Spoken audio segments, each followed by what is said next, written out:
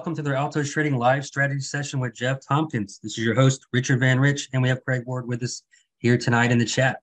We have a lot of great information to go with you guys tonight. We're really excited to have you all on with us. If this is your first time on, you'll notice that your microphones are muted. That's how we can hear Jeff and I talk. Uh, but there is a Q&A box and a chat box located at the bottom of your screen. So if you move your cursor around, you should see it, put them in there, and we'll get to those throughout the evening and also before we sign off. If you do have to hop off for any reason, don't worry. This is recorded and be available in the members area later tonight and sometime on YouTube tomorrow. You can go to at Altos Trading to find our YouTube page. And for watching us on YouTube, like and subscribe. And you can uh, watch some of our future videos as we post those periodically. If you have any questions about your account access to Trade Trend, Zillion, Open Trade Alerts, uh, anything like that, email support at altostrading.com and we'll get to those specifically for you tomorrow. Um, hold the questions for trading tonight. So before I bring on Jeff, let me read the disclaimer. Altos Trading LLC and Trade Trend software is intended to be used as an information service for subscribers, and it includes opinions as to buying, selling, and holding various stocks and securities. However, publishers of Altos Trading Trade Trend software are not brokers or investment advisors and do not provide investment advice or recommendations directly to any particular subscriber or in view of the particular circumstances of any particular person. Altos Trading LLC, including its owners, do not accept responsibility for any decisions made by subscribers using the software and subscribers to the Trade Trend Zillion software any of the persons who buy, sell, or hold securities should do so with caution and consult with a broker or investment advisor before doing so. So that being said, let me give the microphone to Jeff if you want to grab it. I'm here. Can you hear me? Yeah, I can hear you. All right. How you doing? Good, good. I'm not sure if you're laughing at me or No, I'm my wife and daughter are downstairs like doing karaoke and I, I don't know if you guys can pick it up. Sorry. That's hilarious. Well, no, nah, I can't hear it. I wish I could. Probably are, so do our viewers. Sounds like the voice. More, yeah, more, more entertaining. Speaking of the voice, I've, I, uh, they've had a lot of commercials that, uh, what is it? Uh, Blake Shelton last season. Yeah, he's leaving. Leaving the show. I guess he's yeah. sick of winning. Guy like wins like every time. Right. It's better to go out on a high note, I guess. Yeah. That's All I. I want to have like a big monster trade at like 97 years old. Just Yeah, there you go. get a big mother load and just tap out. Yeah. Go big or go home. It's a way to go. Then you'll end up living to like 110. no, right? All right. Well, uh, yeah, welcome everybody. Great to have you guys here. As uh, you know, keeping with tradition, good time to be here. There's always something big that happens on Tuesdays. Had a big sell-off today, mainly fueled by uh, Powell's comments, Fed comments uh, regarding inflation, and looks like they're going to take more aggressive measures to hike rates and uh, kind of went against market expectations, which were basically, you know, 25 basis point hikes moving forward. And uh, although it, it's it's not confirmed and to be determined, but it looks like uh, there's a greater likelihood for 50 basis point hikes, you know, in the in the near future, which spooked markets today, caused caused to sell off, and um, we'll we'll take a look at that, how it's impacting markets, how it will likely impact markets, you know, in the near term moving forward through this week. Um, so a lot a lot of important things to take a look at tonight, um, and we'll look at those in the context of our uh, key levels on the major indices, map those out, take a look at volatility in the VIX, uh, the 36 month moving average on the S&Ps. Um, and then our strategy topic for tonight is uh, we, have had a lot of requests for, um, you know, digging deeper into finding you know opportunities with signals and uh, specifically within our Zillion platform.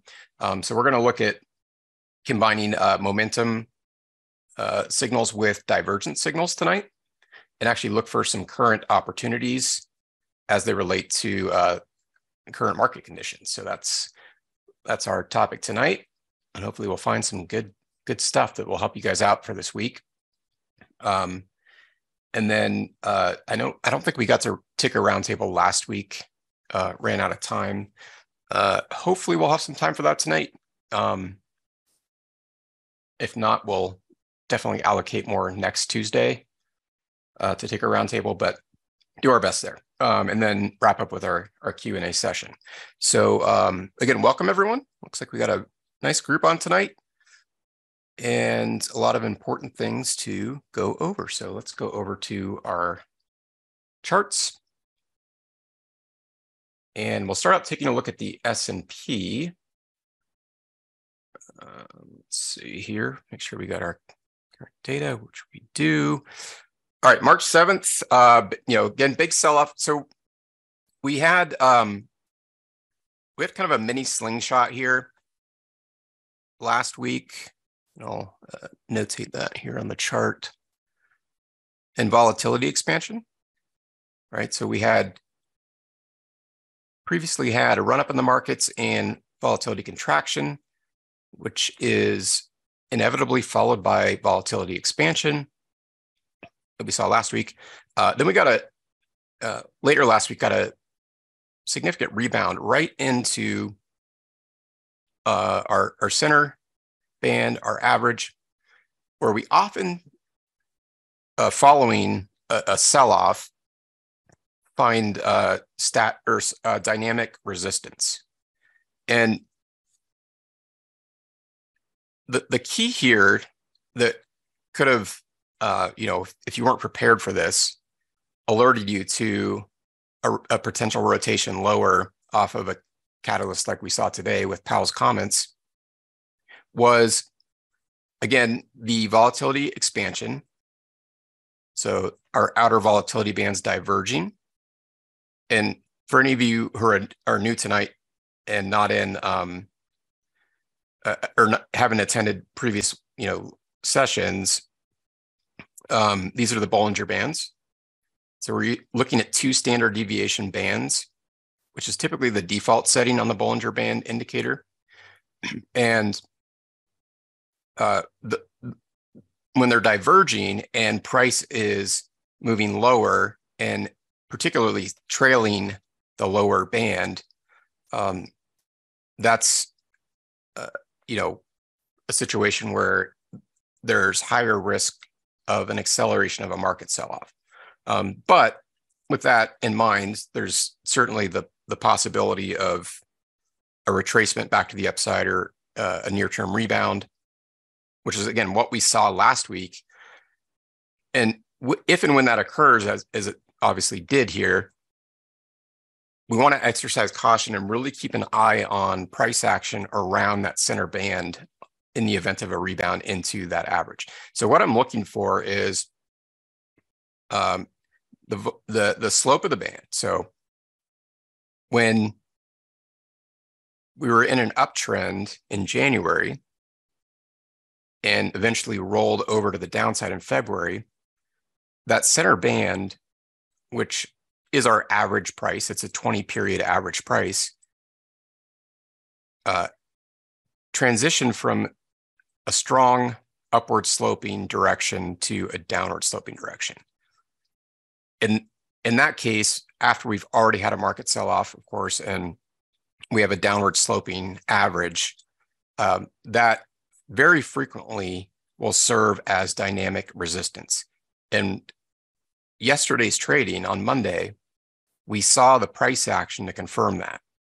So you'll notice that we had a, a run up in the S&P yesterday, albeit, you know, not very significant in terms of range, it was reversed by bearish sell side market activity that caused a lower close off the open and a you know bearish price action, uh, which also coincided with the half century mark, 4050. So again, for those of you who are new, we very closely monitor uh, this type of price price action in the context of key horizontal levels at what we call century marks or half century marks or quarter century marks.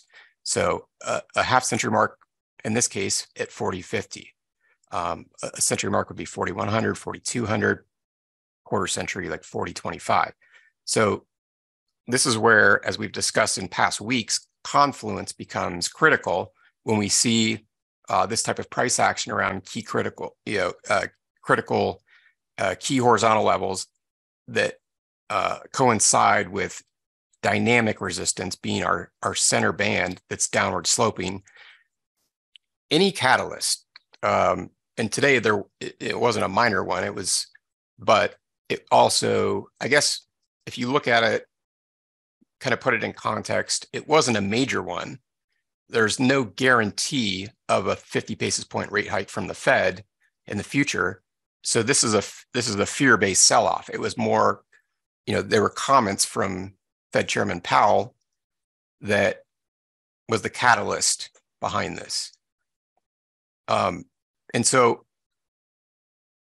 what I'm emphasizing is that when you get a catalyst, regardless of the significance of that catalyst, and it, it occurs near a key uh, static, horizontal, or dynamic uh, resistance, or, or could be support level. In this case, we're talking about uh, market sell-off. Um, so we're looking at resistance.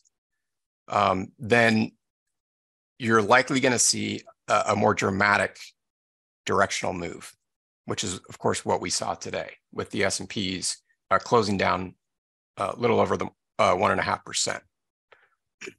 So there was very, you know, we knew that that that Powell was going to release these statements today, um, and there was a lot of really good warning behind this if you know how to look for it, um, not just with uh, you know uh, the knowledge of of uh, the Fed statement today, but um, also the price action that occurred yesterday. Um, so for me, so I was you know prepared for this, and what what I did is I when I saw this um, bearish price action around uh, the the 20 period average yesterday, um, and it coincided with half century mark resistance and the center band, I set sell stop orders, which are basically if the market comes down below uh, the the low from yesterday from this uh, candle here on Monday, I, sh- I I was set up to short E-mini uh, S&P and Nasdaq futures, which which I I did, and um, was able to take advantage of today's move to the downside and we're going to use that that methodology today as we look at using you know analyzing momentum scanning for momentum um, as well as divergence. Um, so as far as key horizontal levels so we, we've obviously encountered a key uh, uh, dynamic resistance level which is our downward sloping center band and again, just to recap, whenever you see price come up into a downward sloping band, watch for resistance there.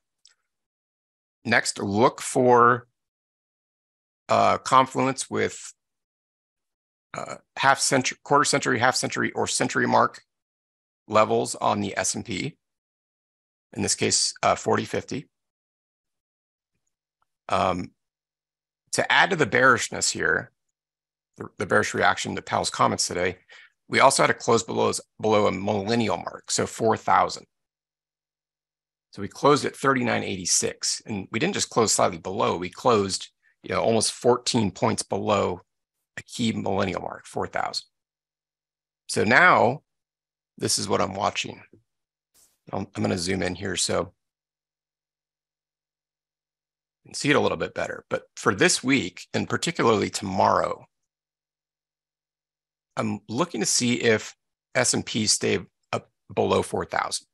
So if this sell-off accelerates, we'll very likely see a test of the two standard deviation move, the lower band, um, potentially this week. In fact, we'll look at the prob probabilities of, of touching that, which by the way, we, we had a, a question from one of our very loyal uh, members um, who I'm not sure if he's on tonight, Himanshu. Um, to recap a bit of what we talked about last week with uh, using probability of touching as part of you know trick planning our trades.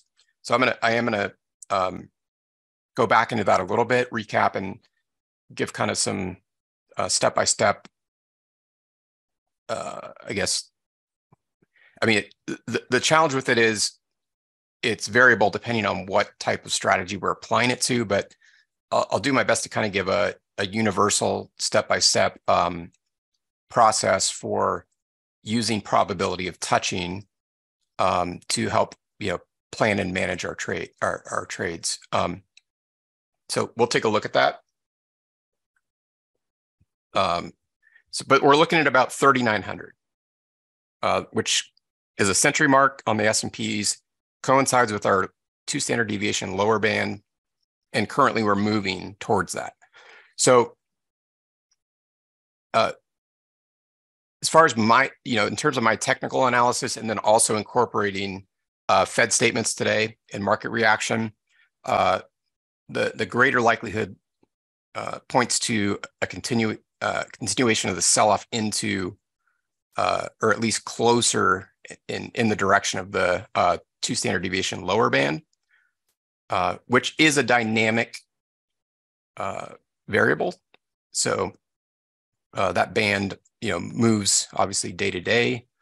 Um, let's see, currently it's just a bit above the 3900 century mark. So uh, on the close today, the lower uh, Bollinger Band is at 3914.28. So very close to that 3900 century mark. So that's the the major area of support I'm watching, and then again 4,000 on the S&Ps is the major area of resistance that I'm watching uh, for this week. Oh, don't want to use that one.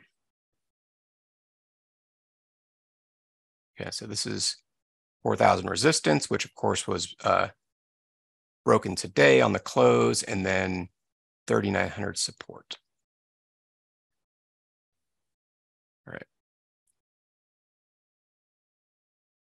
Uh, and also, again, for for those of you who might be newer, um, in terms of interpreting this, if we break a resistance level that was support prior to breaking the level and closing below it, um, our expectation is a move into the next support level, or vice versa. If we break a resistance level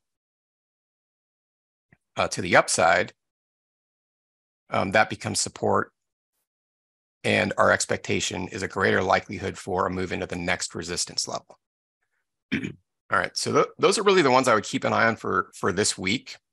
And, and in particular, it's tomorrow as it relates to 4,000 on the S&P. Um, so let's, uh, while we're on the S&P, let's actually look at the uh, monthly uh, chart. So this is a monthly chart of the S&Ps uh, where we continue to kind of really spend a lot of time around the, the blue line here, which is a 36 period moving average, um, which historically serves as strong support for the major indices. And in this case, is the S&Ps, right? So um, for, for March, and we're only a week into the month, and, and had a close in February uh, above the 36 uh, period moving average. I'm really watching this in March because it's in play. We've actually already breached it to the downside. Uh, currently, uh, 36 month moving average is at 39.48, which actually, um, let's see.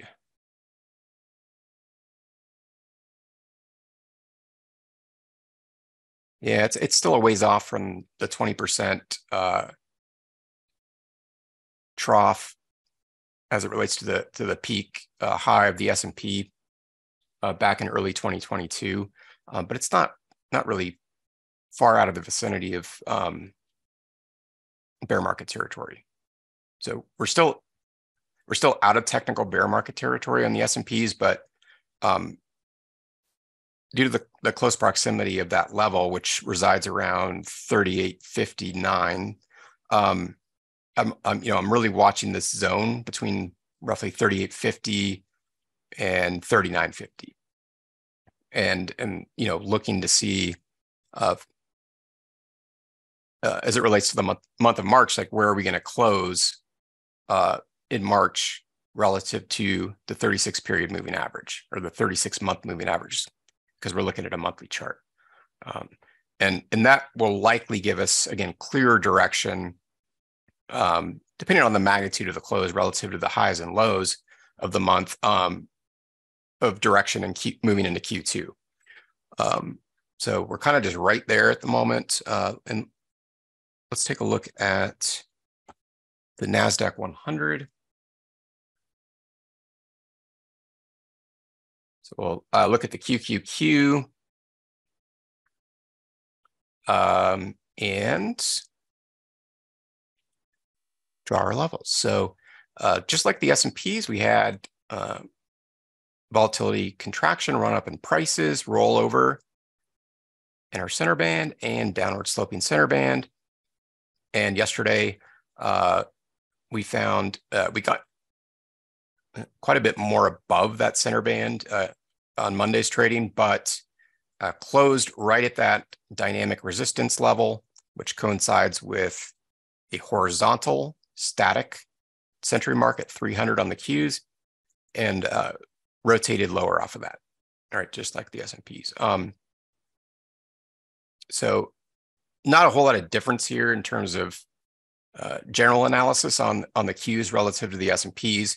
Um, it looks like uh, we don't have quite the volatility expansion, interestingly, on the NASDAQ. It's usually the other way around. We get uh, higher volatility and, and percentage moves on uh, the tech sector on the NASDAQ than we do on the S&Ps. And interestingly, in this case, we've got uh, more volatility contraction uh, with the standard deviation, deviation bands like converging or at least the lower band is flat and the upper band is converging towards the lower band, which is kind of interesting and counterintuitive. But um, you know that's what's in the in the context of this uh, sell off today. But that's what's happening. Um, so we don't have quite the volatility expansion on the Qs that we do on the S and P. Um, but the S and Ps are really like, you know, the mother product. Like that's the one I'm really am looking at. It tend uh, S and Ps tend to have less like um, irrational behavior behind a lot of those uh, these market reactions, um, whereas you know tech sector uh, tends to kind of overreact uh, as it relates to price action. So um, I'm still looking at these in the context of the other indices, but um, for for this week, keep a close eye on 300 as resistance. And um, right around kind of the 297 level also because that was broken today. Uh, on the close, we're at 296.34. Um, and for tomorrow, really, you know, as it relates to tech, watch that, you know, roughly 297 level um, to see if we retest 300 or continue lower. And if, if we do continue lower, just like with the S&Ps, I expect greater, much greater likelihood of a two standard deviation move, which currently resides around 288 on the Qs. All right, so those are, and that would be support. So those are the key levels on the Qs to watch for tomorrow and the rest of the week. Um, so lastly, let's take a look at the VIX.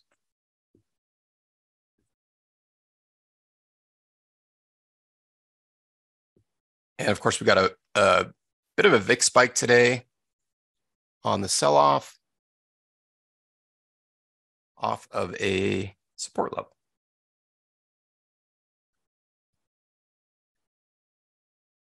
So if you look at uh, 2023, so going back to the start of this year, right around 18, kind of this 18 and 19 zone has been uh, our our support zone on the VIX for for 2023, where historically, as, as we've encountered this support zone, we've seen VIX spikes. We haven't seen any real extreme VIX spikes, which you know is more on the neutral to bullish sentiment of the market. But once again, you know, we we come down into this into this uh, 18 to 19 support zone, and we get another VIX spike. So, in the context of what we just looked at on the S&P and the Nasdaq, what I'm watching on the VIX, uh, particularly for tomorrow, because we kind of had the you know Powell made his his comments, and now people are fearing uh, more aggressive rate hikes, and um, inflation may not have been on you know as much under control as we had hoped, and all these things. Um, now, if that fear is kind of passed, and and uh, you know we we move back up into which what's now resistance on the S&P and the Nasdaq those levels we just looked at um then you know that's probably going to put us more into a neutral to uncertain market condition. But what I'm really keeping an eye on for tomorrow is the 20 level on the VIX. So if we have a continuation of the sell off tomorrow that we saw today, we're going to see the VIX spike again.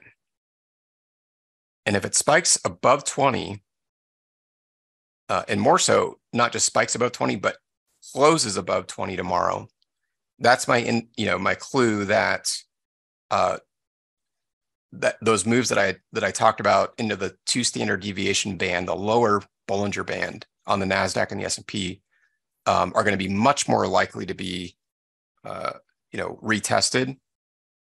Um, so so again, the two things I'm watching is the VIX going to uh, move up above 20 tomorrow, and is it and if it does, is it going to close above 20?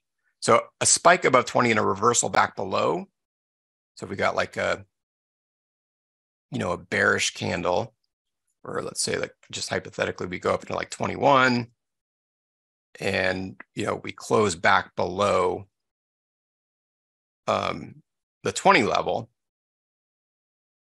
That would be kind of a fake out sell off tomorrow following today's price action. But conversely, if we if we um, spike above 20 tomorrow and close above it, then I'm going to be prepared for uh, that that uh, that sell off to accelerate into that two standard deviation band, those support levels we just looked at on the S&P and the Nasdaq.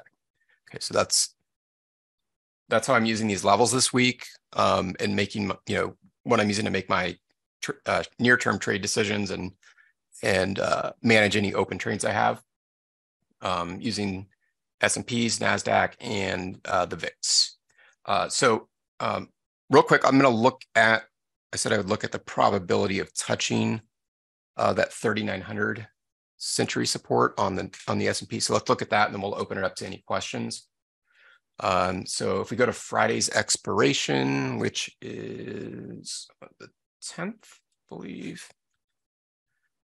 and we're going to look, and this is actually something we covered um, just recently, uh, well, last week actually, right? So uh, using probability of touch, and and we'll look at this uh, in the context of the 3900 level on the S&P, and then open it up to questions. And then before we get into tonight's topic, to, to tonight's topic, I'm going to uh, really quickly recap from last week uh, because again, we had a, a really good member question, kind of how to again uh, you know, incorporate this probability of touching a price, um, which we can is, is information we can get for any optionable asset um, into into a strategy, into our trade planning and trade management. Um, okay, so looking at 3,900 going out to Friday, this week's ex uh, Friday's expiration. Oops, sorry, 3,900. Um, we have a 28%, you know, purely based on mathematical probabilities of touching 2,900 between now and Friday over the next three trading days. Uh, my estimate is based on um, both fundament, fundamental and technical factors. Um, that that probability is probably more in the range of like 40 to 50 percent. Um, so even even in that case, um, I'm surprised it's not higher. But we want to keep an eye on this as well. So um, 3,900 is a key level on the S&Ps where if we were to close below it, um, that's not going to be, you know, good for the bulls as it relates to um, near to medium term directional movement. Um, so again, why I'm watching this 3,900 level on the S&Ps um, and keeping an eye because this is a this is a moving uh, statistic. It's based on, in fact, you'll see it move intraday, but it's based on today's close. Uh, and is, so I, I, monitor it uh, not just throughout the day, but uh, more so on a closing basis each trading day to see how it's moving. So if I see this prob, you know, if I see the markets continue to rotate lower tomorrow, and I see the probability of touching 3,900 increase, um, then I'm using that, you know, information again in my trading decisions. Um, all right, so uh, Richard, any questions uh, we want to address with our uh, key levels and market overview, and then we'll uh, recap last week's um, probability of touching process, and then talk about uh, momentum and divergence. Hey Jeff, Richard had to jump off, but uh, we okay. have attendee, the futurist asked, uh, going back to the S&P on the daily, uh, would you have considered taking that buy signal, considering the technicals and possibly that shooting star that you saw from yesterday? Okay, so that was off the daily? Yes. Okay, then let me get back over to the daily chart. and that was S&P 500? Correct. All right. Um, okay, yeah. G- uh, great question. So, um, yeah, no, I, I, this is one I would not take. Uh, again, reason I, what I try to avoid is, um, and, and again, we'll get into this tonight as we talk about momentum and divergence. Um, we did have bullish divergence, but it's been in play for a number of months, you know, going back to October of last year. Uh, and within the within that bullish divergence, which was a shift from bearish divergence again back in like earlier October, um, we're seeing significant downdrafts in the market. And um, like any other metric, like I don't use them as a standalone analytical tool. I, I look for confluence and, and, combine the information to make the right decisions. Um, and the reason I don't like this buy signal is we just, um, you know, because it, it's, the really the reason we start out from a top-down approach and analysis, you know, of the key levels, the broader indices, and then drill down into signals on individual securities. Is um, if I did my homework and I and I everything that we just looked at, which was our homework for today, right? Um, on the S and P, I know that I've got a key horizontal or static resistance area or zone really between a half century and a century mark 4100 or 4050 and 4100 right? Which is where of course we saw the reversal. Um, and then i've got the dynamic resistance and a downward sloping average. So when i'm looking at this I don't want to just look and and I really hope this helps everybody like for any decision making in your trades, your trade planning, your trade management. Because often, and, and I'm guilty of it too, we often just look at the current candle or maybe the last couple. But if you go back and really look at the structure of the trends and the price action, it gives us a much better picture. So if you look at trend movement, of course, we had a big uptrend. It's easy to spot in hindsight, right? Then we had a, a rotation lower. So this is how markets move. They move kind of in a zigzag fashion. So after we have a rotation lower into support, and again, these are things that we can have previously mapped out and been aware of ahead of time. So you can see prior support around this level where we had strong directional moves from around you know 3900 to 3950 well if we if we move from a, so that was a support level.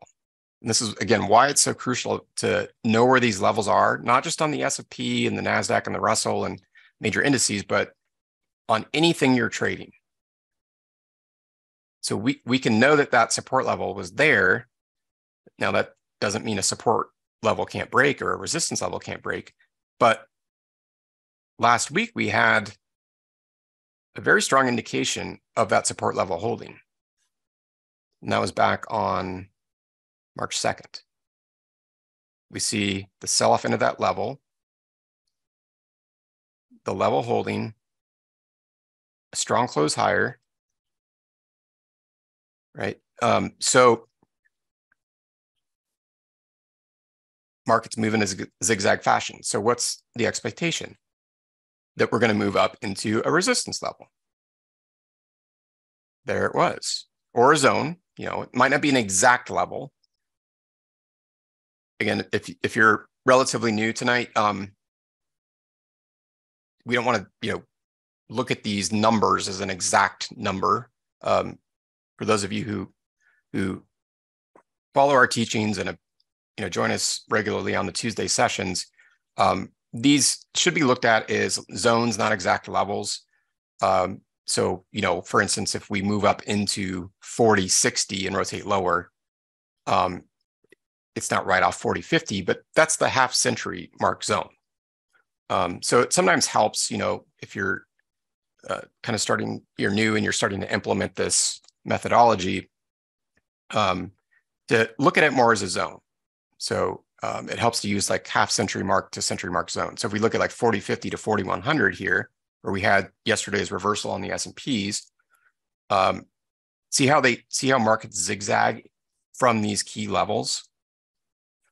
Um, so I, I kind of went on a tangent there, but I think it was important because the reason I don't like this buy signal, because if I look at the bigger picture where we had run up, move up, or sorry, move down, move up, there were too many things working against this signal. Um, and that would again be the horizontal resistance zone, the dynamic resistance zone, downward sloping center band. Um, so there are certainly times that these types of signals can play out nicely. Uh, and so if I were to, you know, try to play this from a bullish perspective to the long side, I would have waited for price to close above this band, which it never did. Not that alone would have kept me out of this signal, which is still an open signal, but um, you know, it's about midway between entry and stop loss. And really, could have been weeded out with um, that type of that, that analysis. So what I am looking for is signals like this, where we're in volatility, um, upward sloping standard deviation and average. Um, and we have room to run between our entry and our next key level of resistance. Century mark right there, 4,100. So then I've got, you know, a good 50 point move I could take advantage of. Because again, we're we're breaking through support, which then becomes resistance, which resides right around the quarter 40, 25 quarter century mark. right. So I'm I'm not taking a trade into resistance. I'm taking one above resistance, which now is support. And I've got you know enough room to uh, you know make a directional trade before I encounter more significant resistance. Um, so these signals, you know, I'm moving in tandem with the market and, and going in with the direction of you know the current. This one, um, not the case, and not to say it couldn't have worked out, obviously in hindsight it's uh, in a drawdown. But this is where, as I mentioned, you know, when we were doing the market analysis, where actually I didn't use this signal, and quite the opposite, I shorted the E-mini S&P and E-mini NASDAQ futures just based on uh,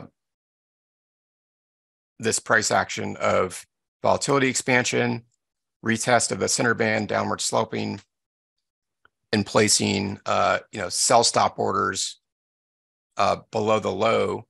So if this was a you know a fake um, reversal off uh, dynamic resistance, then I wouldn't get in the trade. But if there's follow through, as of course there was today, that I'm short, and we typically get really nice directional moves off of these uh, these you know uh, dynamic support and resistance areas. So um, yeah, so again, we're going to look uh, tonight more at the at these signals and how to interpret them, and look at some current opportunities for this week. But uh, sorry, that was kind of a long answer to that question, but um, hopefully that helped out. Some good details right there. Thanks. Uh, well, couldn't get into right now. Detail. No others? No others right now. All right. So let's take a look. Um, so we're in the Zillion dashboard. Um, again, starting from kind of a high level overview. Oh, sorry. Actually, let's go back really quickly to probability of touching. Um, I'm not going to get into all the details, just you know, due to time constraints. But we have a recording from last Tuesday's session in the uh, ch YouTube channel. You guys can review that, where we covered probability of touching. Um, and again, uh, one of our dear members, you know, requested that we kind of go into more detail on using that in the trade planning process, um, which we will incorporate more in our in our weekly sessions because it's such a valuable uh, tool for uh, not just planning our trade but managing it. Um, but uh, you know, try to do this fairly quickly. Um, and, and, again, we'll get into uh, more detail on this and actually incorporate it into picking out trades and managing them um, in, in future weeks. But again, uh, probability of touching is provided. It's a it's a statistical metric metric for options, optionable securities uh, provided in the options chain. So uh, again, last week, if you weren't in attendance, you can review the recording. And if you, your broker doesn't provide this uh, statistic in your options chain, there's a very easy way uh, to, to determine it yourself without that. Uh, but in the Thinkorswim platform, you know, it's it's uh, one of the things that, that is provided. And again, we went over last week how to add that to your options chain. Um, so that's the column you see here that I uh, emphasized uh, on the S&P. Uh, and I just went out to the monthly expiration, the March 17th, third Friday of the month. Um, and if we were setting up, you know, or, or planning a trade, um, the way we would want to use probability of touching is going to be variable based on our trade strategy and our directional bias. Uh, so if we're just to kind of give a basic um, framework for how to use this. If we're planning a bearish trade, so uh, that could be a variety of option strategies or shorting a security. And again, we're using the S&P for example purposes. This can be applied to any optionable stock or ETF or any you know futures market, anything that has options uh, available. Um, if we're bearish and we want to take a you know a, a directional bias to the downside, um, one of the thing first things I look at is probability of touching a, a price because before I enter a trade, I want to have an exit plan. So if I short or if I set up a bearish, you know, uh, vertical put debit spread or a bear call debit spread, whatever it is, I want to know ahead of time before I get into the trade um, where um, I want to get out of it, right? What's my exit plan? And generally, from that's going to be like a, a particular price, right? So another way to look at that is if I need, you know, if I set up a trade where I need the underlying asset to move to a certain price to produce a profit I'm looking for on an option spread or um, even just by shorting uh, the security, um, I need to know, at least mathematically, what my chances of su- success of reaching that price are between when I enter the trade and the expiration date. So again, first step, select your time horizon right? How much time are you willing to tie up capital? How much time are you willing to be in the trade and um? Or if you have to make adjustments to it, you know, all those are, are considerations. Um, or maybe there's a, a, an underlying catalyst, technical or fundamental, that you're, you know, is causing you to enter this trade. Whatever those those things are, they're all, you know, obviously individual and personal. Um, based on that, select your expiration date. And uh, again, last week we talked about it doesn't have to be one expiration date. You can look at multiple around that time horizon. And that's also beneficial. But once you select an expiration date and you have an idea of for this trade to be successful, for it maybe to meet my risk reward tolerance, you know, I've, I've done my technical analysis. I've placed my stop loss at a level where if you know the trade moves in the direction that I'm anticipating, I want to I want it to you know double the the risk I'm taking. So once you've you know determined those, those are really the first steps. Um, I look for the probability, you know, before I get into the trade, because maybe mathematically the probability is just way against me, and I don't want to get into a low probability trade. Um, so again, just completely hypothetical. We're not going to go through all the the other uh, nuances, but if I were, you know, bearish on the S and P and I I set up a, a, a bearish trade, and let's say, you know, I, had, I this is the short term trade. I have a time horizon of you know a week or two. I select the March 17th expiration, nine days from now, and I you know whatever the, my strategy is, I I need the S and P to move down, you know, to 39.50 for that trade to meet all those things I just mentioned right? So what I do is I look at that price, that strike price, and then I go over to the probability of touching column. And I see, well, statistically speaking, the S&P has a 78, a little over a 78% chance of touching 3950 between now and March 17th, the next nine trading days, right? So if I set up a trade where I would uh, be successful and make you know make a profit on that trade if the S&P hits 3950 then I know roughly at least mathematically speaking not factoring in you know uh, any other technical or fundamental uh, components then I've got a, almost an 80% chance of having it you know work in my favor and making money on the trade so it gives me a good kind of framework uh, baseline you know um, metric for for knowing my probability of success. Um, so that's that's kind of the step process, but we're really and that's for a bearish trade. So if we're if we're you know setting up a bullish trade, in this bearish example, we use the put side of the spread.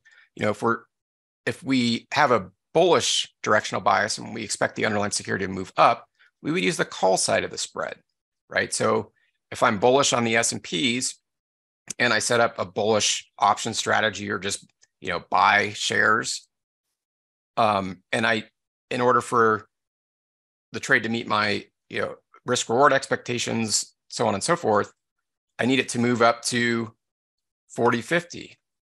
If it doesn't hit that price, then um, I, I, it's probably a trade I don't want to take. So that's all predetermined. Um, so once I know that, you know, predetermined price, I can go look at probability of touching that. Oops, sorry, that's probability out of the money. Probability of touch is right here. It's 60%, right? So only have a, you know, still better than a flip of the coin, but statistically speaking, I've got about a 60% chance of hitting 40, 50 between now and March 17th. So you can do that for multiple expirations, but that's kind of the step process. Um, but the key is you want to, it's variable um, based on your strategy. So that's kind of a used a way to use it for directional uh, trades. Um, but you could use it, for instance, um, for uh, like credit spread trades. So if you're familiar with credit spreads, you know, where you don't want the underlying asset to touch or breach a price between your entry date and your expiration date, you can also use it for that. Right. So um, hopefully that kind of helps with the process. Um, and again, we'll we'll we'll use that quite a bit moving forward. Um, but uh, if there are any questions on that, Craig, uh, let's let's go ahead and kind of talk, do some scanning and look at current opportunities for night for tonight. Uh, there's no questions uh, pertaining to that. No. Okay, and we will wrap up with Q and A here uh, after we kind of do some some searching together tonight. So, what I wanted to do is really look at look for you know we've kind of determined the market sentiment at this point, uh, market direction. We've done mapped out our key levels. Um, so I really want to, you know, also look at sector performance and run some scans to see, you know, to give you guys an idea of what you know might look good to me or might look bad to me. So let's let's uh, transition over to that. Um, and we're gonna, again we're in the Zillion platform, um, and market sentiment. You know, we're starting to see uh, it, it's it's updated on a daily basis. So we're starting to see risk kind of tick up from the lower zone. Um, trend is starting to tick down, right? And um, interestingly, we're seeing uh, a relatively high percentage of pending buy signals from our algorithms. But I'm watching this because I expect it, you know, it to also continue to uh, move in the uh, direction of more neutral to, to sell activity. Um, so sector performance, this is a really uh, valuable, and if you're not a Zillion user, you can you can find sector performance on you know other financial websites. Uh, we provide it uh, based on our own algorithms, which are described by clicking on the information icon here. Um, that make it easy to see for the current day, like what the top and underperforming sectors are. So today, you know, what I'm really paying attention to in the context of what we've uh, talked about is we don't have any top performing sectors that are in positive territory. Um, and we have some significantly underperforming sectors, real estate being number one, uh, financials, and then consumer discretionary. Okay. Um, and if you look at those negative numbers, again, if you uh, look here, anything four minus four to minus 10 is strongly underperforming. So real estate is getting hammered, which is not surprising today, right? Because there's the fear of uh, more aggressive rate hikes impacting the real estate market, right? Fewer people are going to want, you know, mortgage loans are going to get more expensive and fewer, fewer people are going to get mortgages and buy houses, as well as financials, right? Rates heavily impact financial sectors. So very good to know as in my trade planning, right? I want to know uh, when I'm start to do my scans and look for momentum and divergence, divergent based trades that I'm trading within the higher probability sectors of the directional bias that I have, which currently is bearish. Right. So I have a bearish bias and what I'm doing here is I'm really building up, you know, a case, a confluence of variables that line up to to you know tell the story of what's going to lead to me selecting, um, you know, trend momentum and divergent trades. So now that I've determined that, what I like to do is actually go within, you know, inside one of these sectors to look for signals. Um, so this is one of the things I really love about the Zillion platform is I can just click on one of these sectors and populate the symbols within that sector in my scanner. So just a click of the mouse, I can start looking for bearish opportunities in real estate and financials. So let's look at real estate because real estate really, you know, think back to like 08 when real estate market just got hammered due to the you know, subprime mortgage crisis. Uh, that's a, a risk that we're facing now with high inflation and higher rates um, after a pretty significant real estate bubble. So this is a good starting point for me. All right, so if I start looking within the real estate sector for bearish opportunities, of course, I'm going to want to look for sell signals. So the next thing I'm going to do is go to the sell signal column here and go to pending signals. Well, I don't currently have any pending signals within the real estate sector. Let's look at entered signals. Oh, maybe I have a filter on here.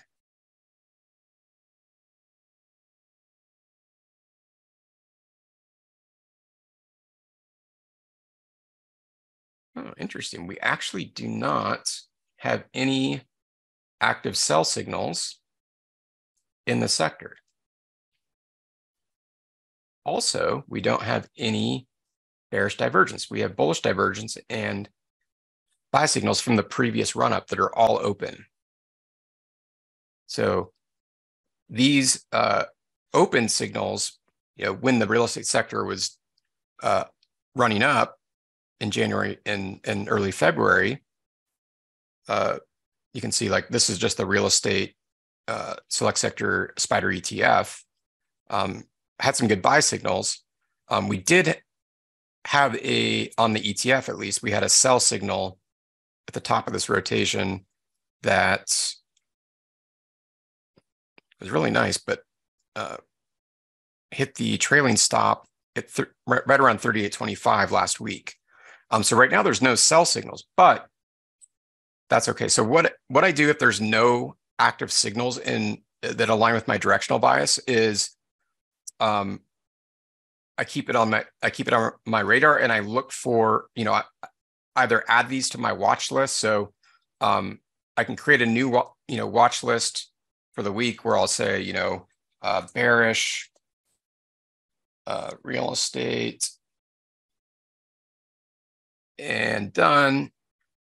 Um, and then I'll show you what I do next here, where in this case where there's no active signals, and we'll look at financials to see if we have any there. Um, so then what I would do next, and we actually don't have any, like I said, any bearish divergence, which is the next thing I look at. Um, but planning ahead and knowing um, the you know directional sector performance and um, there aren't any signals, those often lead to great opportunities. Um, so I want to keep it on my radar. So I, what again, what I do, create the watch list, and then I'll use the stats and I'll scan for profit factors greater than one. All right. So what this tells me is that on these uh, on these assets within the real estate sector, um, going back five years, our our momentum and divergence signals are profitable. Okay, so that's the next step. So these are the ones I'm probably going to want to add to my watch list. They have positive profit factors. And that um, individually for each symbol can be found by toggling over to the, the statistics um, tab to the right of the chart tab. Okay, so these are good watch list symbols. So then once I add them to my watch list, um, I can keep an eye on those four sell signals, right? And red divergence cloud, all right? And to get those, uh, if you go under your um, your profile icon and collect, select trade alerts, you can actually set up email trade alerts for those as well. Um, or you can just come into the platform and check those. All right. Um, so, you know, just doing this in real time, obviously we there's there's no signal. So um, that's how I would would manage that and use it as a watch list tool um, to keep an eye out for any you know pending sell signals that might come up, for instance, tomorrow. All right, so nothing there. Um, so let's take a look at financials. Let's see if we've got any sells.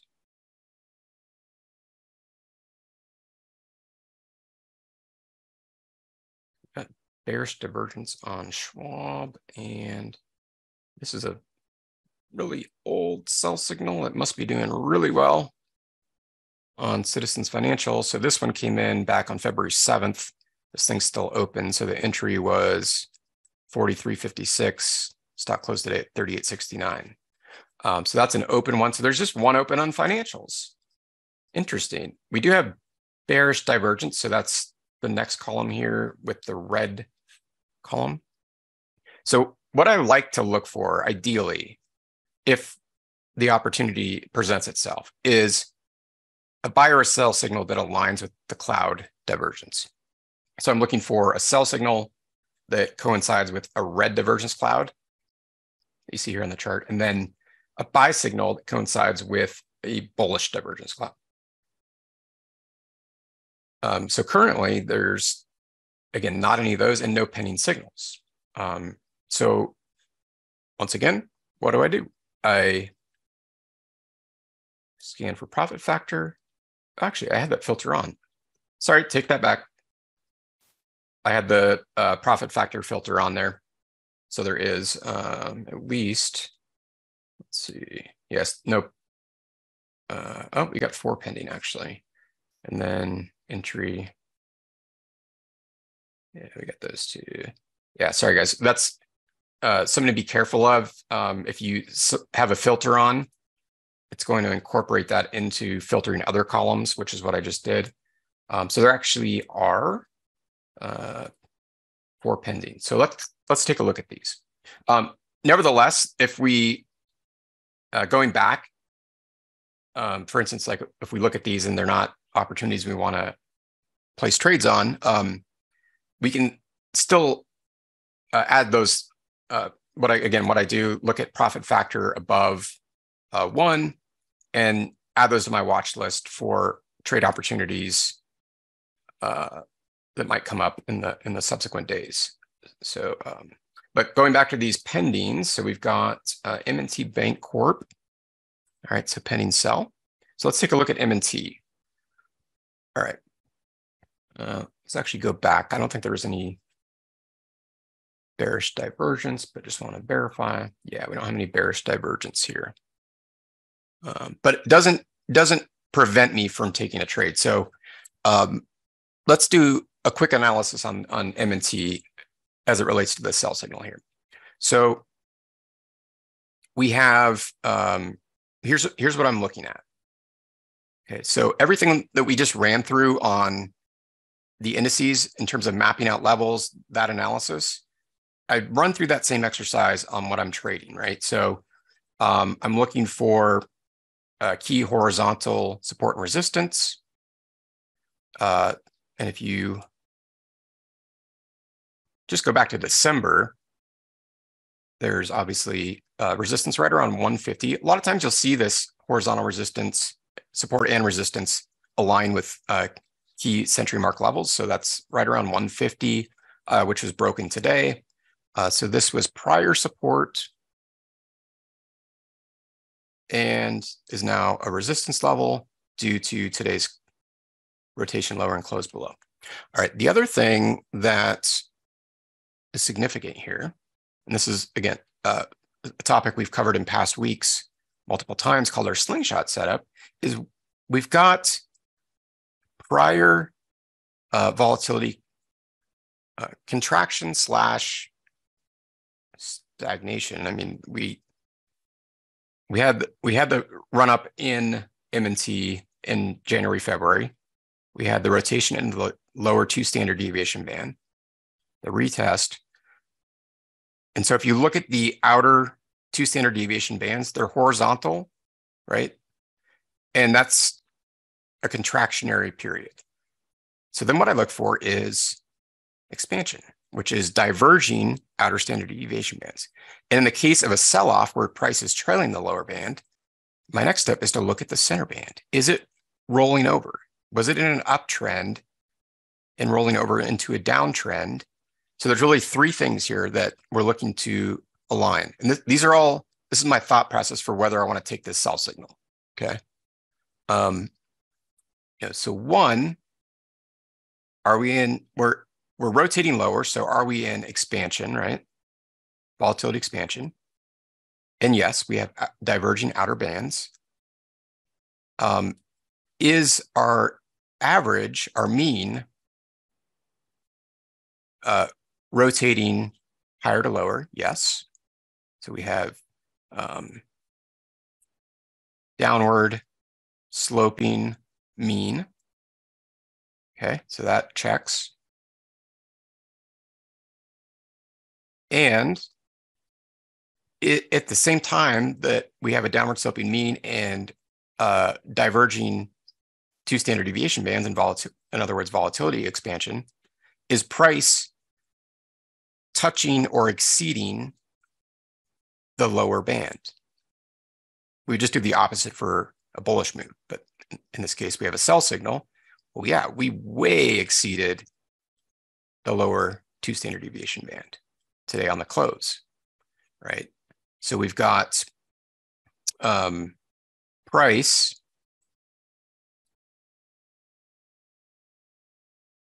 right is equal to or greater to the lower band. Right, check. Now I've got a pending sell signal. So the next thing I want to do, and this is where we'd start looking at like probability of touching, for instance.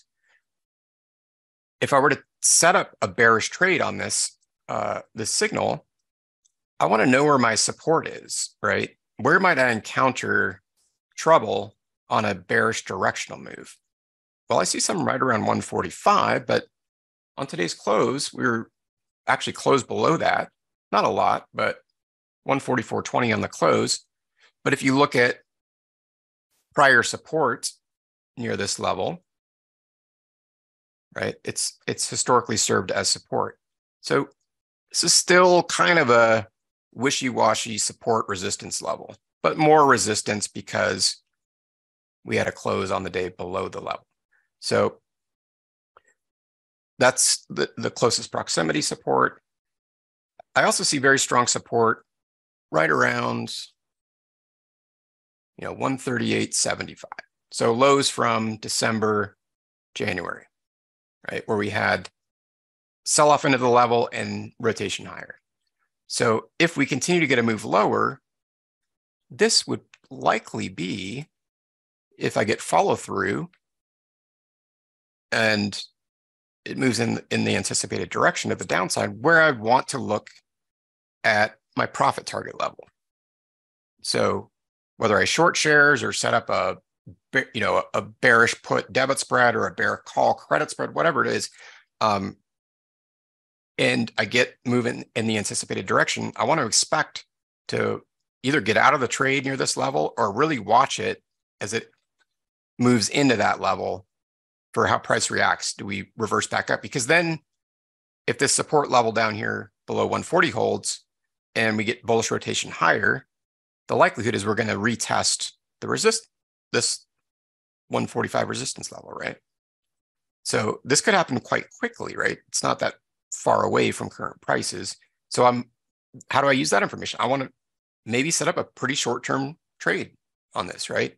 So that's where I could go out and I believe M&T is an optionable security, right? And I can go over to my broker platform and I can pull up, let's see if it's the chain for M&T Bank. Let's clear out our drawings there, right? And they, they don't have weekly expirations, just monthly. But if I think that I want to set a profit target, let's say um, at 135, what is the chance I'm going to get down? And that's actually quite a bit below. Um, this is actually a good example of what to do if the strike doesn't coincide with your profit target level for us would be really closer to 140. So we can either use the 140 level or we can take an average between the two strikes. So we're just our profit target, you know, on a continuation of the sell off would be just a bit under 140, which has mathematically about a 40 a 53.23% chance of being reached in the next 10 days. Right. So eh, I would probably give that more of like a 60% chance based on bearish price action and our momentum sell signal, right? Which again is right here. All right, so if I feel like I can get a good risk reward on that type of a setup, then what I need to do, because we don't want to just jump on this in on this, uh, you know, directional move from this one signal because it's a pending, right? We looked at pending signals here um, that hasn't reached the, the entry price. So then what I do is I look, what is my uh, my uh, momentum entry price? Well, it's 143.46, which should be just a little bit below the, the uh, today's low. 143.70 it was today's low, right? Um, so what I can do is use a sell if I want to take a short trade off of this, or if I'm uh, this again is something we've covered in in previous weeks. If I want to um, uh, set up an option strategy, we can use contingent options orders. Uh, but whatever asset class I'm using or, or, or method I'm using, um, I only want to enter the trade if price comes down into that level, right? The 143.46 price. Uh, that way, tomorrow, if you know we we all of a sudden get a rotation back to the upside and we don't come down below uh, today's low, it keeps me out of that trade. Okay, so that's why this is a pending signal. Um, so if we come down into that 143.46 uh, level, and I want to take a position off of that, um, I can set up that order, right? Sell stop. Um, so this is uh, a, a, setup that meets my criteria in general, right? Like, I'm not saying I'm going to take this trade. I'm just telling you this is the confluence I'm looking for and uh, aligns with a lot of the factors that I'm looking at. The the horizontal levels, making sure I'm not trading in the case of a short setup into support, right? We just got through support here. And if I place my sell stop uh, below today's low, um, then I have a higher probability of coming down into uh, the 140 level. Um, and then we've got diverging volatility, right? So we have our outer bands moving away, which indicates an you know accelerating sell-off uh, and tends to, you know, if you look at past, here's a good example right? Volatility contraction, volatility expansion, right? Here's another example. If you look at these outer bands, tends to result in fairly significant directional moves. Um, so that's why you want to look for those factors to align because like here, price touched the lower band, but we didn't have the volatility contraction or expansion, sorry. In fact, we had contraction, right? The bands weren't diverging. So you really want to look for these diverging bands, right? For indication of, of, of that volatility expansion. And then as well as the lower sloping um, center band or mean, right? So uh, this is a, to me, a valid sell signal, right? Uh, if I were to, if I were searching for opportunities uh, within a bearish sector, financials, that's a valid sell signal, right? That meets my criteria there was things I didn't look at, like um, risk reward, what strategy I'm going to incorporate, and does it, you know, make sense from a risk reward perspective? All of those types of things, which again we've covered in other sessions, so we need to also look at those. But from a technical perspective, um, that's what I'm looking for. Um, so then I would just simply go and do the same thing here for the other pending signals, right? Um, do I have, and see this one I don't like as much, right? Because it's a sell signal. Um, we just had a nice sell signal off of a, a upward bullish slingshot, but this one's really into a support level. So I don't have enough directional movement before I encounter support. So that immediately weeds that one out for me. Um, now this one I like better on Synchrony Financial, right? Because we're earlier in the stages of potential volatility expansion, right? Um, I've got some room before I encounter support.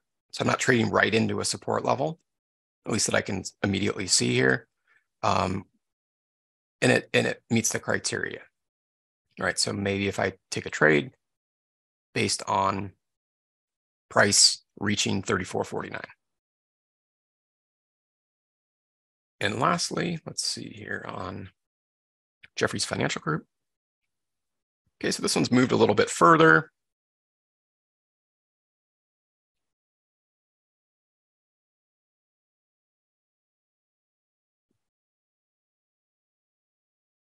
But we've broken a, a key support level. I do want to look at this swing point here because we had uh, strong resistance there. If you look at the the pivot off roughly that 36 level and then strong sell off. So there were a lot of sellers at that level for whatever reason. Um, we're kind of right around there here. But if we can clear that and get down into our entry price, um, also, you know, we've got the volatility expansion, the the uh, rotating upward to lower uh, trend line, and if we can get down below, we've got significant room till our next key support level, which is right around 34. Um, so again, with confirmation and assuming it meets other risk reward criteria, et cetera, uh, also might be an opportunity within the bearish financial sector. So that's kind of my process. Again, um, please also review other weekly videos to get more in-depth analysis of like trade planning, risk reward, strategy selection, all of those types of things.